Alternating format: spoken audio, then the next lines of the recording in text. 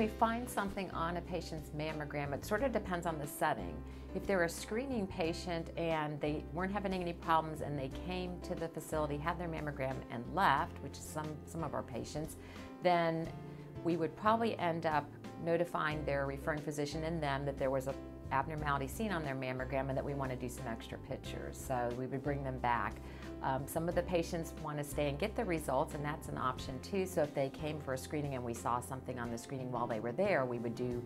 a lot of times we'll do extra mammogram pictures, sometimes we'll do ultrasound. So we would, we would want to work up what we see on the mammogram to determine is it a real finding. If we determine that it is a real finding, there's still a good chance it's not going to be cancer. There's lots of other things that can cause problems on the mammogram. One of the more common things is fibrocystic breast condition, which lots of women have, and that can form